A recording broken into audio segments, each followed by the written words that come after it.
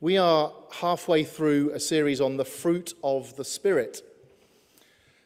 And um, I've got a problem with this one. Does anyone know what, what we've got next? What, what today's fruit is? Anybody? I know you know, Mike.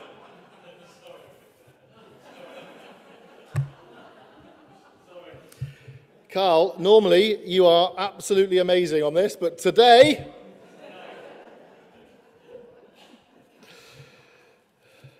I still didn't hear anyone say it. They're just laughing at me, which is fair enough.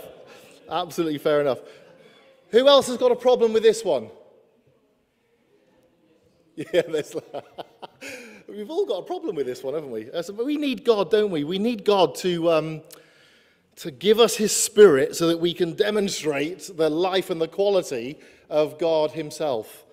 And um, and I've got a problem with this because we can so, especially in church, and I'm not criticizing you, but in church life in general, we can so easily fall into the trap of sentimentality. That is not what this means. I must emphasize that from the top, right from the very start. It is not a comfort blanket, it is not just mere suburban niceness either but the kindness of God, as we read in Scripture, that leads us to repentance. I'm going to read that scripture from Titus again that I read at the top of the service. And bearing in mind that the fruit of the Spirit are listed in Galatians chapter 5 from verse 22, and there's nine of them. So we are now in the epicenter of the fruit, the core of the apple, so to speak. This is what the kindness of God leads to. When this is Titus 3 verses 4 and 5. But when the kindness and love of God our savior appeared, he saved us not because of the righteous things we'd done. Even if we had done righteous things, it would never be enough, but because of his mercy. Hallelujah. He saved us through the washing of rebirth and renewal by the Holy Spirit.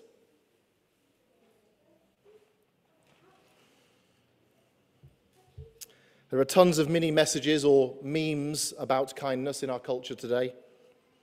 I found four of them. I could have found I could have listed 400. They go like this. And there's nothing wrong with them at face value. Listen to these. Who would disagree? Kindness is always in fashion. Okay?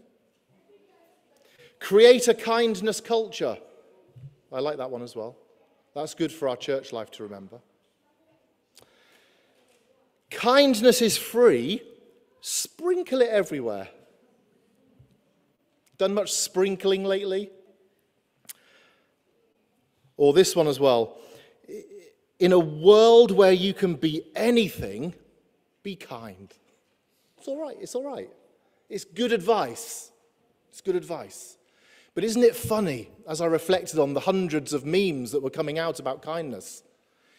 You only get memes like this or advice like this in a world that is historically and culturally unkind. Because we need to be reminded of these things. Now, these things wouldn't exist these slogans, these mini messages, wouldn't exist in a world that was kind. We need God. We need the power of the Spirit to be poured into our lives to demonstrate the life of God, the life of Christ. So I do find it interesting on these two counts that we, A, we need to be told these things, and B, that it is a named fruit of the Spirit. Now, many of you will know that I love um, uh, an old school congregationalist theologian called P.T. Forsyth. I'm sorry. I haven't wheeled him out for a while, uh, but he, he taught me the difference between uh, sentimentality and non sentimentality, the difference between the two, and how church life can often fall between the gaps on these things. He said this Yes. He said we must avoid that particular effete, sentimental brand of late Victorian Christianity in which the mysteries and the paradoxes of the historic faith are traded for the mood and sensibilities of polite society. Kindness must not be reduced down to the sensibilities of polite society.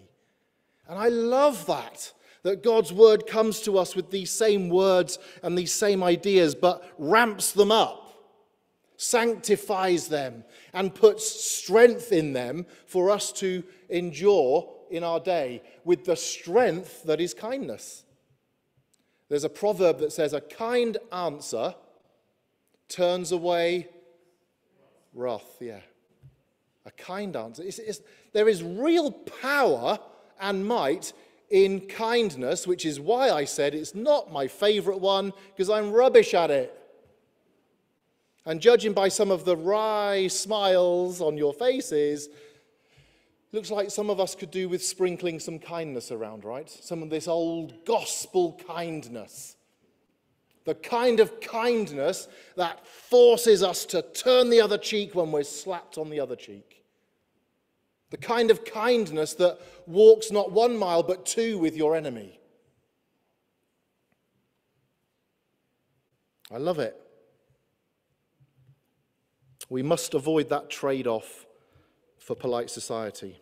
David Goetz, I'm going to paraphrase another guy now, he said something like, it's not on the screen, sorry about that. He says, Sometimes we can so flatten the gritty, historical faith and all its mystery to the point where nothing surprises us except tragedy. Is that true? We can often so sentimentalize our faith, remove the grit and the rawness and the paradox and the mystery. Nothing's a surprise.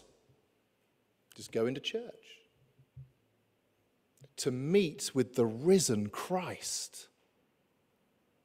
We should come to church wearing hard hats. Not flowery hats, not that you're wearing flowery hats, praise the Lord. I'm sure it looked beautiful back in the day, but hard hats, right? Because we're dealing with the holy things of God, and one of the things that he says is a demonstration, an outworking of God's presence within you and me is kindness. It's a supernatural gift. That's why Romans chapter 2, verse 4 said, Without kindness there's no repentance. It says, Or do you presume on the riches and kindness and forbearance and patience, not knowing that God's kindness is meant to lead you to repentance? It's not. Kindness is not, you're okay, I'm okay, let's just tolerate each other and get along.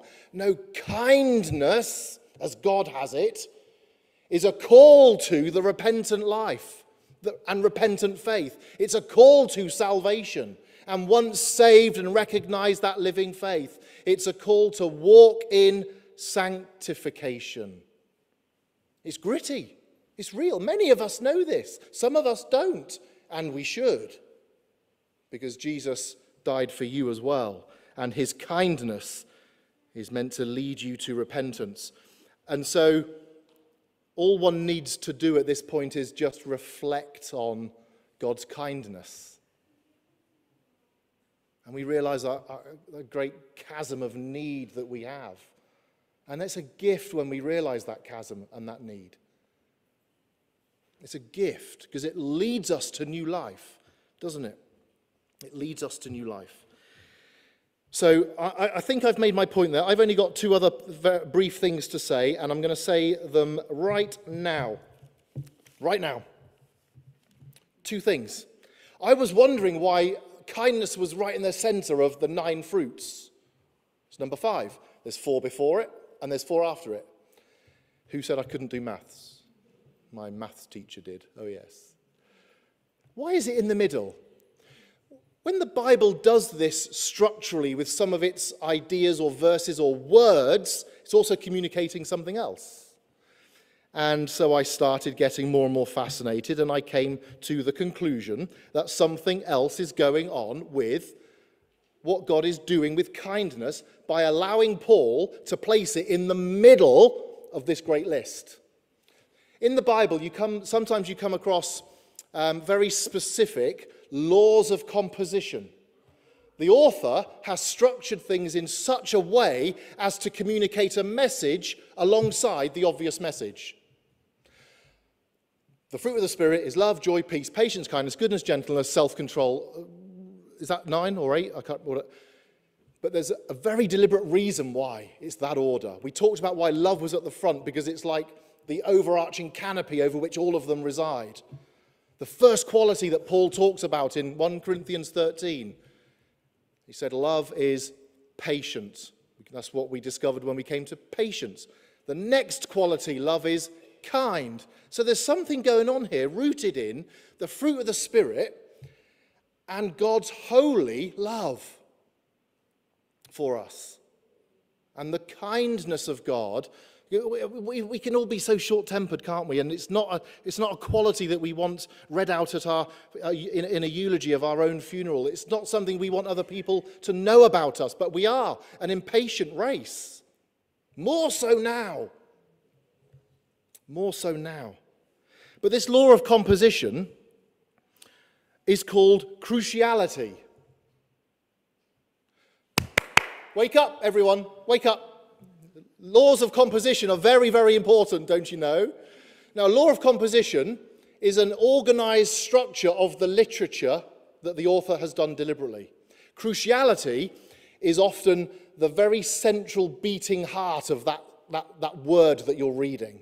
And right in the middle of the fruit of the Spirit, the cruciality, the crux of the matter, where we get the word crucifixion from, actually, the most important thing to get, God has deemed it fit to place kindness. Out of that cruciality point, everything else emanates. Everything else radiates the fruit of the Spirit just as an example, we come across. Um, uh, oh, you got the picture. Okay, good. Um, another, another just to highlight the, uh, what cruciality is,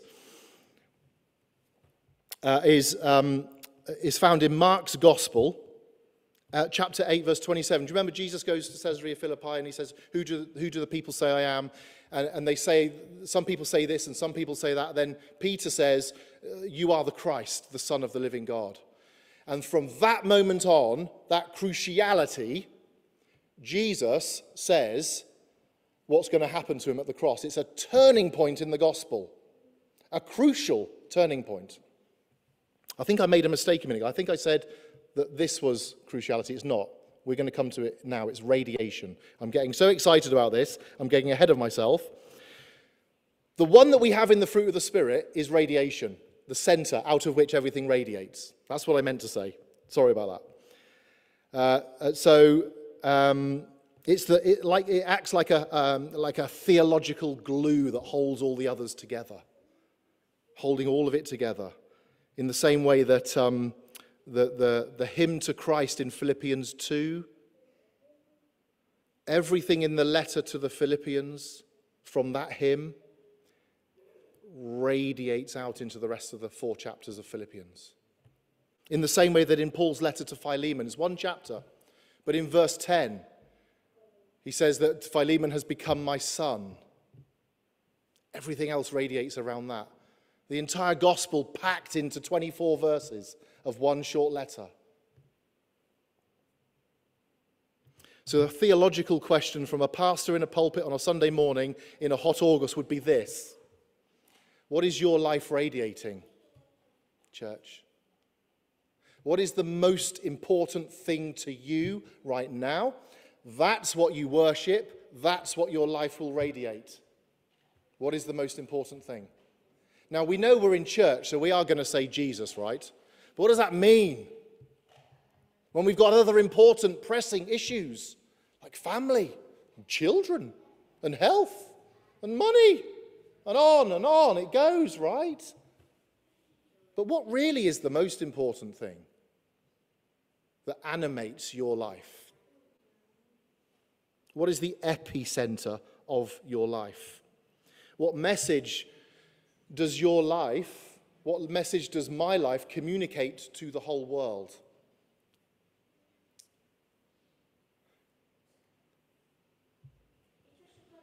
And we sang Jesus be the center because if Jesus is the center, then it will be him. If Jesus is not the center and you recognize this, then your own life is crying out for that life of Christ, for that redemption that he offers, that salvation, that deep cosmic need of him. Now, of course, before I come to my second point and my closing point, someone who is not a Christian can also be kind, can't they? it's not as if everyone who's a Christian is perfectly good and everyone who's not a Christian is perfectly evil. No, no, no. Because kindness can be demonstrated by all those made in God's image. When people are kind in the truest sense, they act like God. Because they're made by Him, they've been potentially saved by Him. And then they should live for Him. The second one, I was also very excited about discovering this as well. Now, because God saves us and sanctifies us and calls us to follow him in transformative newness of life. That's a long sentence. But because he calls us to all of these things, because the Christian life is not static, it's not just a religion that we choose, but it's in fact Jesus, the Son of God, choosing us, right? The fruits of the Spirit are the means by which God does all of this saving work around our life. All of it. And since God forms his people to be like Christ, we can say that we are, historically, we've been called the people of the book, Jews and Christians, and to a certain degree, Muslims. People of the book, where the revealed, I'm not saying this is true for Islam, it's not, but where the revealed word of God has come to us over the centuries and millennia to reveal a God who is after us. Who is after us, right?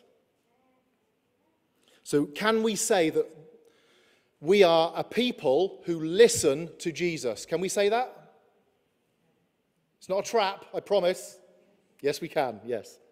Okay, so I want to share something absolutely beautiful as I close now. This is in the really well known story, and um, you will know this really well, of Mary and Martha in Luke 10. Have you've got your Bibles? There's Bibles in the pew in the seats there. Nearly said pews. Blimey. Um, there's Bibles in the seats. Luke chapter 10, 38 to 42. Very familiar story, but this story is so profound. It speaks uh, a critique to our contemporary culture, it speaks life to our contemporary culture, and it speaks life to us today. Martha had invited Jesus into her home, which is a good thing. She showed Jesus hospitality. But then she goes and naffs it all up because she starts mincing around the kitchen, being super, super busy, so busy that the invitation of hospitality is lost in the noises that she's making from the kitchen. Any Marthas here? Except for the actual Martha? Martha, are you a Martha or a Mary? It's all this fussing and flapping around, even though the initial invitation has been good, right? But what was Mary doing? Should we read it? Actually, let's read it. I just realized I've not read it. Now, as they went on their way, Jesus entered a village, and a woman named Martha welcomed him into her house. And she had a sister called Mary who sat at the Lord's feet and listened to his teaching. But Martha was distracted with much serving, and she went up to him and said, Lord, do you not care that my sister has left me to serve alone? Tell her then to help me. But the Lord answered her, Martha, Martha, you are anxious and troubled about many things, but one thing is necessary. Mary has chosen the good thing, which will not be taken away from her. And I got thinking about this. We know it's a critique of Martha's fussiness and anxiety. We know that Jesus didn't judge her, but we also know that Jesus will not be bullied and bossed by her demands. Tell Mary to come and help me. Jesus says, No, this is not the way to live. What Mary has chosen is the way to live. What was she doing?